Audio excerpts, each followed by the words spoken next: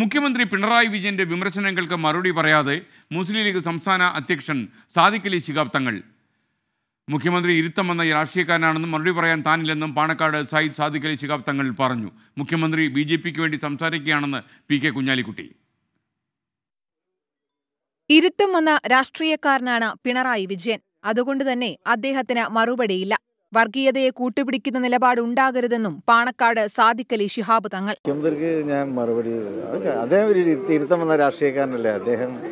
അദ്ദേഹത്തിന്റെ അഭിപ്രായം പറഞ്ഞത് മാത്രം. അതിനൊന്നും ഞാൻ മറുപടി പറയുന്നില്ല. സോറി രാഷ്ട്രീയ നേട്ടങ്ങൾക്ക് വേണ്ടി ആരെങ്കിലും വർഗീയ ചേർത്ത് പിടിക്കാനുള്ള ശ്രമങ്ങൾ ഉണ്ടാവുകയാണെങ്കിൽ അത് കേരളത്തെ സംബന്ധിച്ചിടത്തോളം അതൊരിക്കലും അംഗീകരിക്കാൻ പറ്റില്ല. കേരളത്തിലെ ആ പാരമ്പര്യത്തിന് ചേർന്നതല്ല എന്ന് എനിക്ക് പറയാനുള്ളത്. പാണക്കാട് സാദിഖലി ശിഹാബ് തങ്ങൾ ലീഗ് അധ്യക്ഷനായ ശേഷം ജമാഅത്ത് ഇസ്ലാമിയുമായും എസ് ഡി പി ഐയുമായും സന്ധി ചെയ്യുന്നുവെന്നായിരുന്നു മുഖ്യമന്ത്രിയുടെ വിമർശനം. Jamaat-e ഇസ്ലാമിയുമായി C P I M Mumbai സഹകരിച്ചിട്ടുണ്ടെന്ന് ലീഗിന്റെ മറുപടി.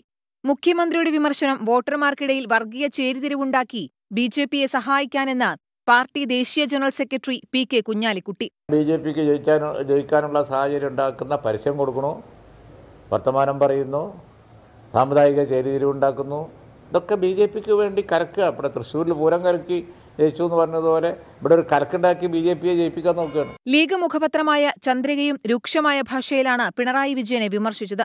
സി പി ഐ എം വർഗീയതയുടെ കാളിയന്മാരായി എന്ന തലക്കെട്ടിലെ മുഖപ്രസംഗത്തിലാണ് വിമർശനം. സംഘപരിവാറിനെ നാണിപ്പിക്കുന്ന വർഗീയതയാണ് സി പി ഐ എം പുറത്തെടുക്കുന്നത്. ഇന്നലത്തെ പത്രപരസ്യങ്ങൾ ഒടുവിലത്തെ ഉദാഹരണമെന്നും മുഖപ്രസംഗത്തിൽ പറയുന്നു. മുഖ്യമന്ത്രിയെ പിന്തുണച്ച് ഇന്നും സി പി ഐ എം നേതാക്കൾ രംഗത്തു വന്നു.